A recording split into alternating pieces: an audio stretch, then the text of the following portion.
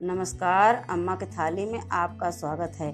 आज हम बनाएँगे गेहूँ के आटे की रेसिपी आज हम गेहूँ के आटे की ऐसी रेसिपी बनाएँगे, ये बनाने में ज़्यादा समय नहीं लगता है। आप इसे सुबह शाम के नाश्ते में बनाकर खा सकते हैं, खाने में बहुत स्वादिष्ट लगता है। अगर आज की रेसिपी हमारा आपको अच्छा लगे तो लाइक कीजिए शेयर कीजिए, हमारे चैनल को सब्सक्राइब कीजिए और हमारे वीडियो को सबसे पहले देखने के लिए बेल आइकन का बटन दबाना ना भूलिए तो चलिए हम शुरू करते हैं गेहूँ के आटे की रेसिपी बनाना। गेहूँ के आटे की रेसिपी बनाने के लिए हमने दो कप गेहूँ का आटा लिया है। दो बारीक कटा हुआ प्याज, थोड़ा सा बारीक कटा हुआ हरा धनिया, एक बारीक कटा हुआ टमाटर, एक कप दही, एक चौथाई छोटी चम्मच हल्दी पाउडर, तीन बारीक कटी हुई हरी मिर्च, एक चौथाई छोटी चम्मच नमक, एक चौथाई छोटी चम्मच चाट मसाला, दो बड़े चम्मच तेल, एक कप पानी हमने लिया है आटे के घोल बनाने के लिए। रेसिपी बनाने के लिए हमने इतना बड़ा बर्तन लिया है। अब इसी बर्तन में हम गेहूँ का आटा डाल देते हैं। अब इसी में हम दही डाल देते हैं। अब इसी में हम थोड़ा थोड़ा पानी डालकर इसका घोल बना लेते हैं। इसमें हम थोड़ा थोड़ा करके पानी डालेंगे, जिससे घोल पतले न हो। हम इसको अच्छी तरीके से चम्मच से मिलाएँगे, जिससे हमारे आटे और दही अच्छी तरीके से मिल जाएँ, जिससे हमारा घोल अच्छा बनेगा।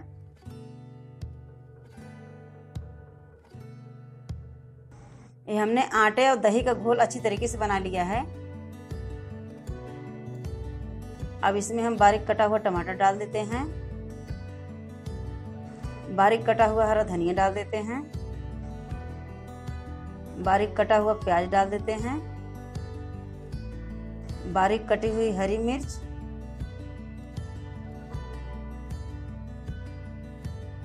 चाट मसाला,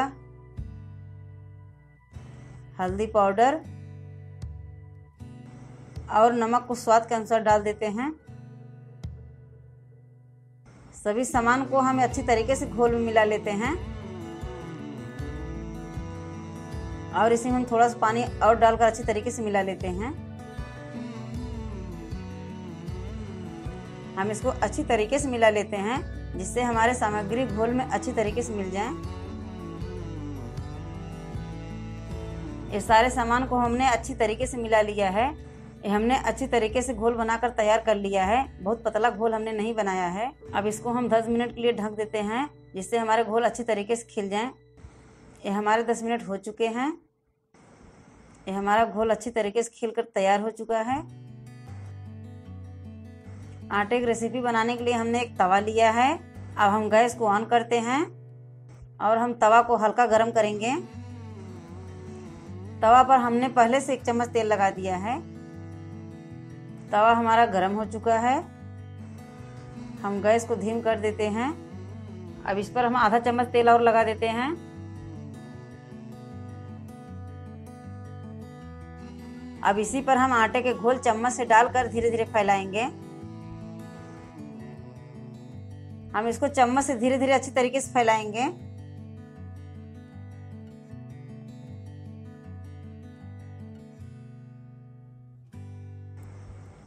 हम इसको चारों तरफ़ से एक लेयर में फैलाएँगे।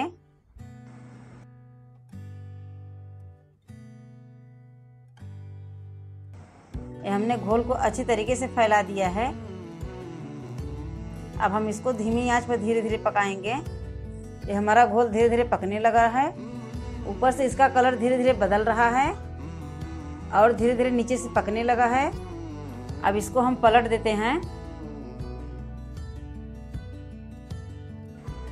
ये इसको हमने पलट दिया है। अब इसको उस तरफ़ से हम थोड़ा सा पका लेते हैं। हम गैस को धीम रखेंगे।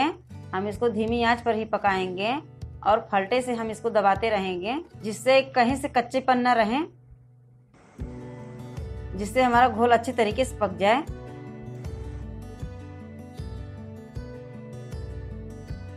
अब हम इसको एक बार फिर पलट देते हैं उस तरफ़। अब इसको धीमी आँच पर एक मिनट के लिए और पका लेते हैं। ये हमारा गेहूँ का रेसिपी बनकर तैयार हो चुका है। इसको हम प्लेट में निकाल लेते हैं।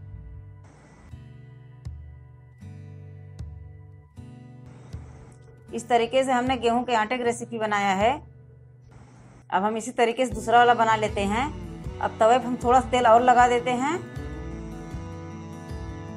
उसी तरीके से हम फिर चम्मच से घोल डालकर फैलाएँगे।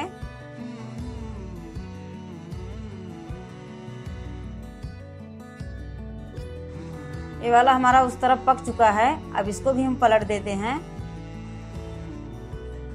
और इसको भी हम दो से तीन मिनट तक पका लेते हैं। ये दूसरा वाला भी हमारा पक चुका है। इसको भी हम इस प्लेट में निकाल लेते हैं।